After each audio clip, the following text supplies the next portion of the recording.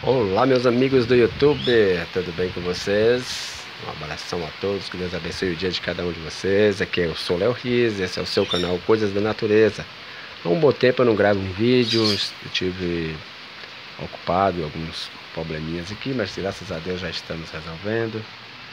E aí vem essa chuva maravilhosa, né? Hoje dia 6 de maio, né? Sexta-feira, chuva no sertão, chuva na região de Caatinga. É as águas de maio aí, ó, fechando o verão. Você que já é inscrito no canal, deixa aí o seu, o seu joinha, o seu comentário. Você que não é inscrito, se inscreva. Inscreva aí no canal.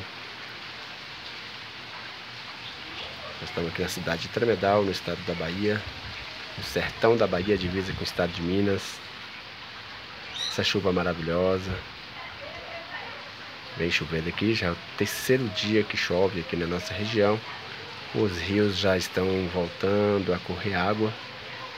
Se tudo der certo, amanhã eu estarei, estarei indo ao rio e vou gravar mais um vídeo aí para vocês mostrando aí a maravilha que é a chuva no sertão. Mandar um abração aqui aos meus amigos, né? Mestre Frisa News, um abraço, que Deus abençoe você, meu amigo meu amigo Johnny Clayton, né? Vai ficar muitos amigos, que eu não vou estar falando o nome, nosso amigo Sidney, Sidney Pedra Preciosa, as amigas Alê, Alê, também, que gosta muito do garimpo, Pedra Preciosa, Alice, nossa amiga Ilza Batista, nossa amiga Val Lourenço, um abraço, que Deus abençoe você, né?